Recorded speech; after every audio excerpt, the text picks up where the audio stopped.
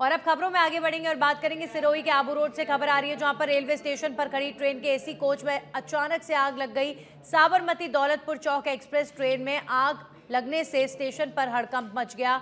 AC coach के Avon के panel में शॉर्ट सर्किट से आग लगी। अब सूचना पर नगर पालिका की दमकल की गाड़ी मौके पर पहुँची और आग पर काबू पाया गया है। खबरों में आगे बढ़ेंगे और बात करेंगे नगर निगम हेरिटेज और ग्रेटर के सफ़ाई कर्मी आज से हड़ताल पर हैं। न डोर टू डोर कचरा संग्रहण के लिए ऊपर पहुँचेंगे और ना ही झाड़ू निकाली जाएगी। सफ़ाई कर्मी भर्ती में अनुभव प्रमाण पत्र को लेकर दो दिन पहले हुए समझौता वार्ता के बाद फिर से पेच फंस गया है।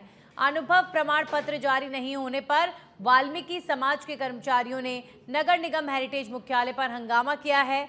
वहीं दो दौर की निगम प्रशासन से बातचीत के बाद वाल्मीकि समाज के सफ़ाई कर्मियों ने सामूहिक अवकाश पर जाने का ऐलान कर दिया है।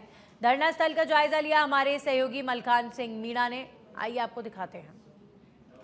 बिल्कुल मनीषा, जिस तरह से अनुभव प्रमाण पत्र को लेकर नगर निगम हेरिटेज हो, चाहे ग्रेटर हो, सभी सफ़ाई कर्मी लगातार मांग कर रहे थे कि जो वाल्मीकि समाज के लोग हैं, उनका कहना है कि जब हम काम कर रहे हैं तो अनुभव प्रमाण पत्र हमारा क्यों नहीं बन रहा? और उसी को लेकर कल भी नगर निगम हेरिटेज में हंगामा किया गया और कई वार्ता का दौर भी जारी रहा, लेकिन सहमति नहीं बनी। और इस वक्त मैं जयपुर नगर निगम हेरिटेज में हूँ, जहाँ पर आप देख सकते हैं कि सुबह से ही लगातार जो सफ़ाई कर्मचारी हैं वो यहाँ पर नज़र आ रहे हैं हड़ताल पर हैं और ये पूरी तरह से हड़ताल कर रहे हैं कि जब तक अनुभव प्रमाण पत्र नहीं बनाया जाएगा उस तक जब तक कामकाज पूरी तरह से ठप रहेगा। और बड़ा सवाल ये भी है कि अगले महीने मनीषा राइजिंग राजस्थान होने वाला है लेकिन उससे पहले